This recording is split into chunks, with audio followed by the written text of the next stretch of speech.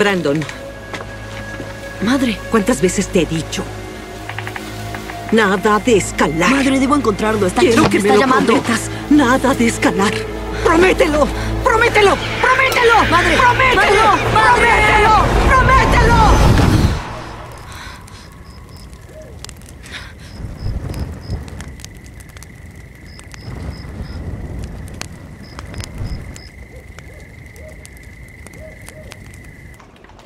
¿Es muy grande? No más de lo usual al parecer. Aún así, dijeron que era... Extraordinario. El hombre más extraordinario que han tenido. Y han tenido a muchos hombres. ¿Hablamos del mismo Podrick?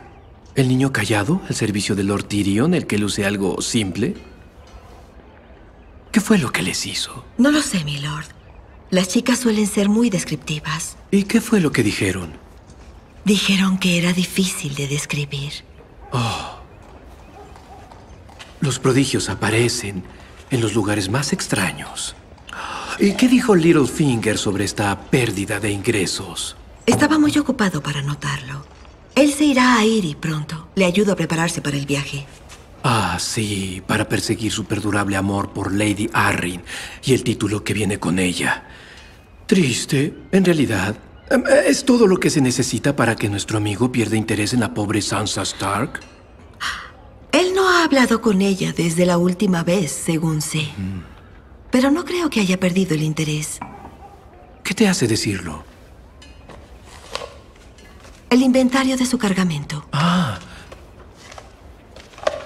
¿Sabes leer? Qué raro para una mujer de tu profesión. Antigua profesión. Por supuesto.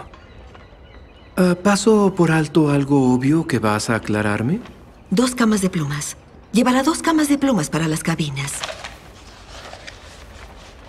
¿Quién es importante para Littlefinger que amerite una cama de plumas además de Littlefinger? ¿Podría llevar a una de sus chicas? No tiene interés en ellas, mi lord. ¿Cómo lo sabes? Porque yo soy una de sus chicas. Prodigios en lugares extraños, en verdad.